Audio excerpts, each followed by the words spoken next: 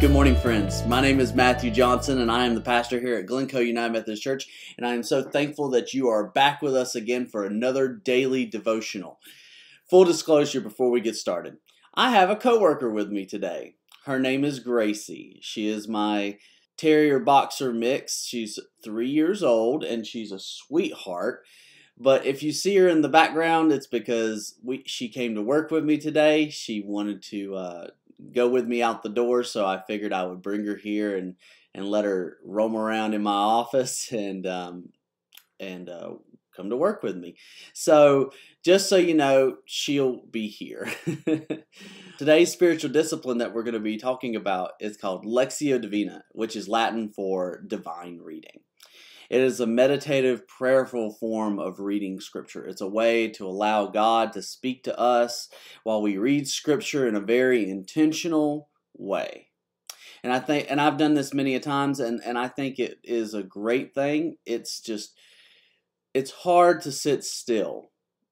And it's a challenge to do that. But if you do and you do this properly, it can really be meaningful.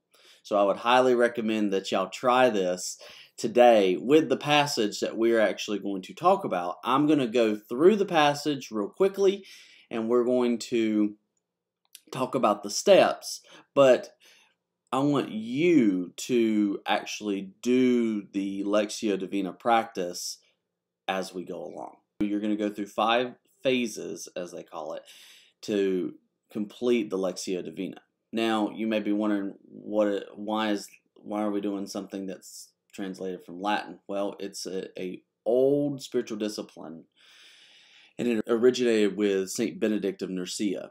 And Saint Benedict was a well-known saint in the Catholic Church and in the Eastern Orthodox Church, and he started, and he was known for starting about twelve monastery communities, and he even wrote a book uh, called "The Rules of Saint Benedict," and that's where the Lectio Divina actually originates. So he's had a lot of influence on the church and everything from that. And you may be wondering, well, why are we doing this? Can't we just read scripture and get what God has to say to us? Well, sure, you can. But this is a very intentional spiritual reading. Marjorie J. Thompson says in her book that spiritual reading is a meditative approach to the written word. It is concerned with not with the speed or the volume, but with depth and receptivity.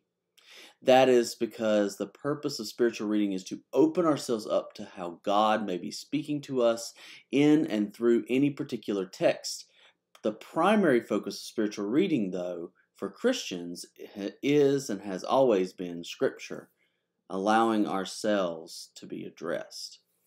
So, this is why we do this particular practice because it is important for us to learn how to listen to God and to take the time to allow God to speak to, to us. Now, let's go ahead and jump into what Lectio Divina is. Lectio Divina is a five phase system where you, where you enter into the practice and you exit out of the practice. I know that sounds weird, but you'll understand here in a minute. There are five official phases. There's Lectio, which is the sacred reading. There's Meditatio, which is sacred meditation. Silentia, sacred silence. Oratio, sacred prayer. And then you have Contemplio, which is sacred being or sacred con contemplation, if you will. Now, I know that that all sounds really weird. Just remember read, meditate, silence, pray, being. Okay? Just remember those five things. I give you more information just so you have it. Now, one thing I like to do before I do Lectio Divina is I like to first off find a quiet space or a space where I can focus on what I'm doing. Some people that means going outside and enjoy and being in nature. For some people, it means finding the quietest place in the entire home. Some people it means going somewhere else. it just depends on you. You do what you need to do so that way you can focus on what you're doing and not be distracted. The idea is to reduce distractions. With that in mind, if you have a cell phone that's a smartphone, please, please put it away. Put it on silent. 15 minutes is not going to hurt you. You just went without it all night. Promise a few more minutes isn't going to hurt you. But what we're going to but what you do is you reduce the distractions and you find a quiet place. This helps you concentrate and it makes it almost sacred. Maybe you can find a place and actually choose a place from now on to do your spiritual disciplines.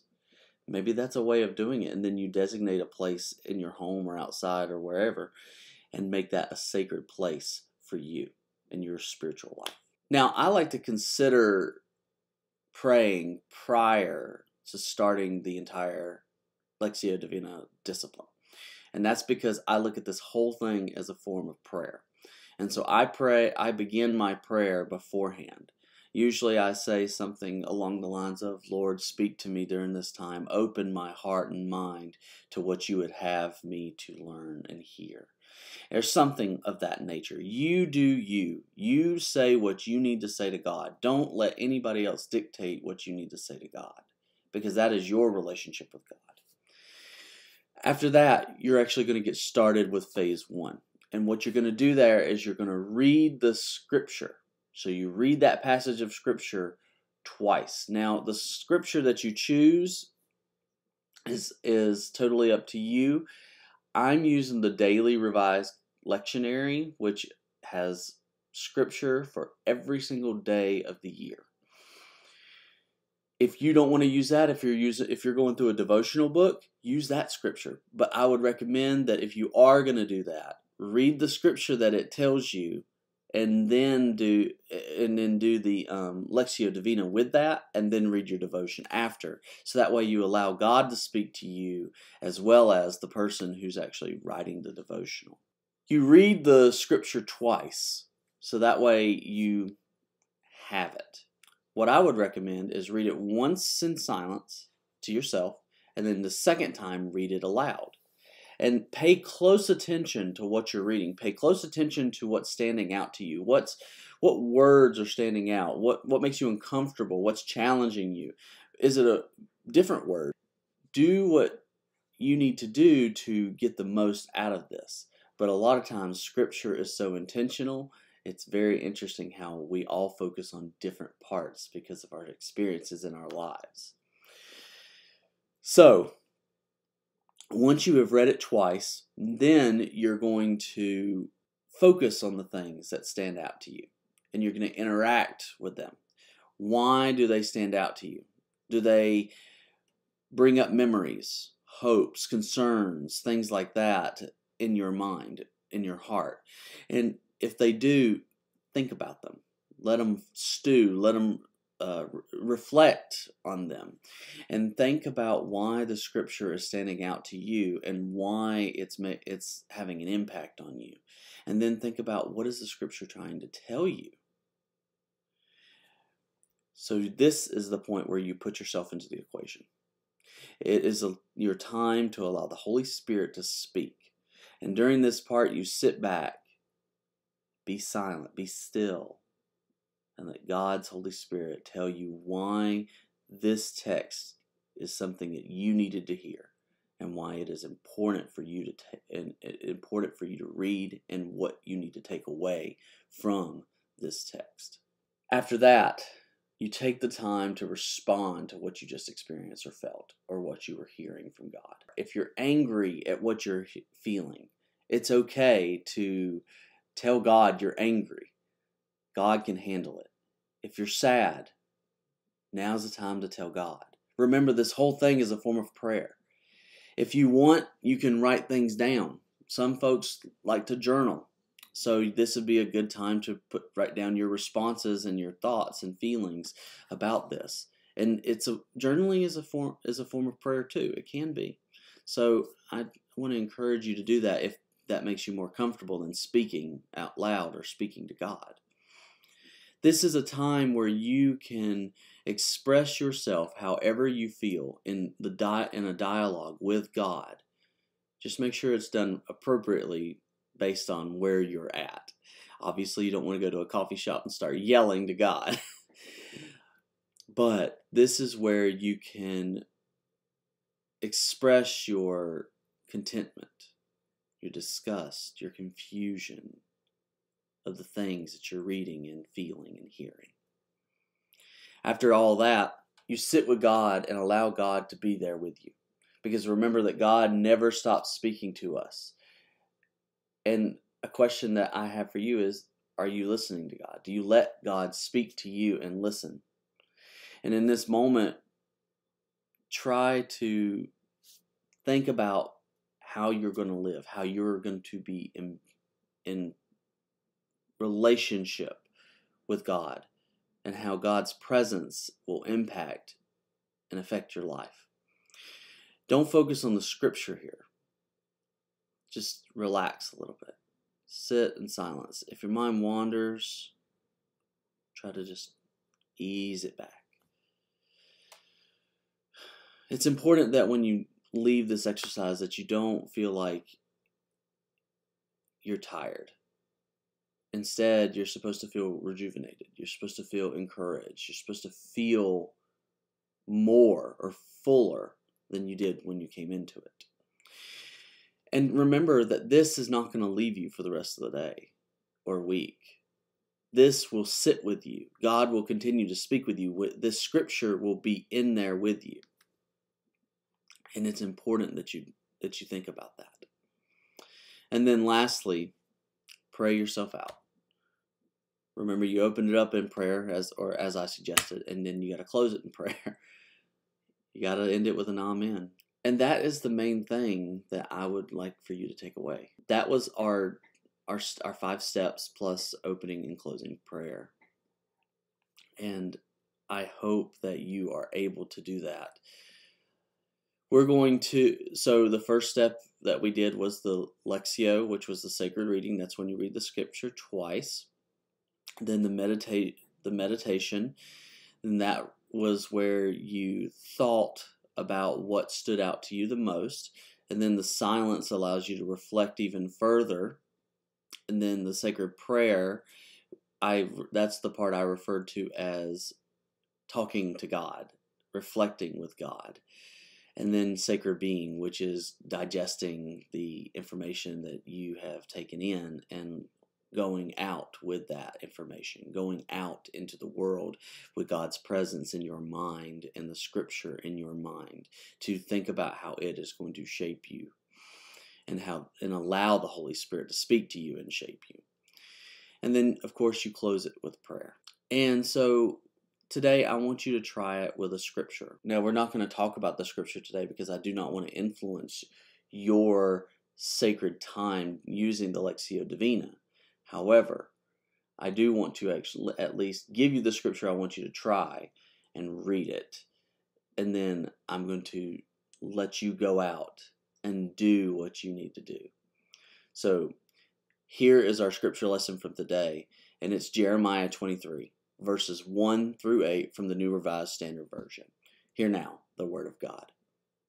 Woe to the shepherds who destroy and scatter the sheep of my pasture, says the Lord. Therefore, thus says the Lord, the God of Israel, concerning the shepherds who shepherd my people It is you who have scattered my flock, and you have driven them away, and you have not attended to them. So I will attend to you for your evil doings, says the Lord. Then I myself will gather the remnants of my flock out of all the lands where I have driven them, and I will bring them back to their fold, and they shall be fruitful and multiply. I will raise up the shepherds over them who will shepherd them, and they shall not fear any longer, nor shall any be missing, says the Lord.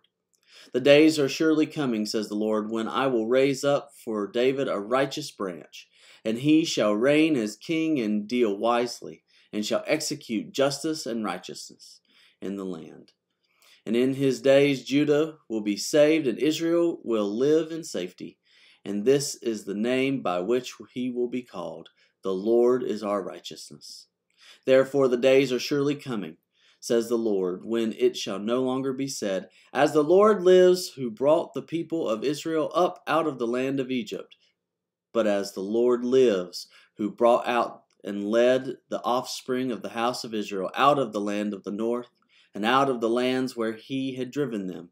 Then they shall live in their own land. This is the word of God for us, the people of God.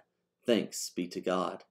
Friends, I hope and pray and challenge you to try this sacred practice, this spiritual discipline this day, because it is a beautiful thing that will allow you to grow in your relationship with God because you're spending time in prayer. And any time you spend in prayer helps you grow in your relationship.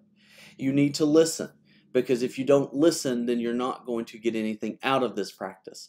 Connection. If you don't actually try this practice, you're not going to be able to connect with God further, and it may not allow you to connect with others. When you are listening and learning about yourself and reflecting, and God is speaking to you, God may be talking to you about those around you to help you remember things that you maybe didn't know that you remembered, things that you need to know to help connect with others, with those who are your neighbors. And then, of course, your faith. It helps you grow in your faith. It helps your faith strengthen because as you depend on the Lord, as you depend on God more and more, you are allowed the opportunity, the opportunity to be more spiritually sound to be more comfortable and sure in your faith. To learn more about, about God improves our faith. And why? Because we learn more about God. And the more we learn about God, the more we can trust the Lord. Go in peace this day, friends. Serve the Lord always. All glory in the Father, Son, and the Holy Spirit. Thanks be to God.